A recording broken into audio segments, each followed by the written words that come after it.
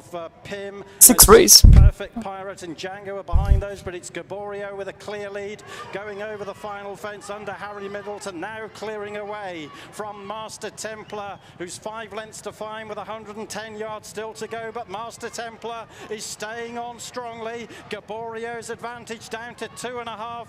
Then back in third. Django's finishing with a flourish. Gaboriot's going to hold on though. Gaboriot wins the four miler, beating Master Templar into second. For six in who party horses.